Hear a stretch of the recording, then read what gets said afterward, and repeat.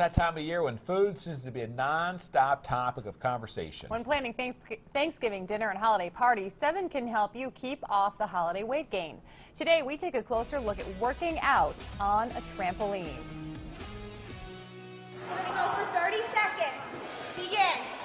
People enjoy it, they have fun. It kind of brings them back to their childhood days of jumping on a trampoline and just having fun while exercising. Bouncing on a trampoline. Not exactly the first thing that comes to mind when you think about working out. it kind of takes the actual feeling of a workout out of it because it's different types of exercising that I haven't done before. Mandy Tessmer says she hates running and wanted to try something new. That's when she heard about trampoline workouts that Defy Gravity. I don't really have to motivate myself as much to actually go to the gym. I have this class. And because it's a low impact exercise, there's less stress on your body compared to other workouts. It's actually easier on your joints and ligaments than running or walking just on the ground or on a treadmill.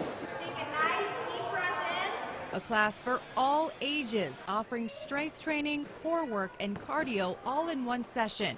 And in one hour, you could burn close to 1,000 calories. I am drenched with sweat when I leave, but I love it. It's it's super intense, but I can tell it's a good workout.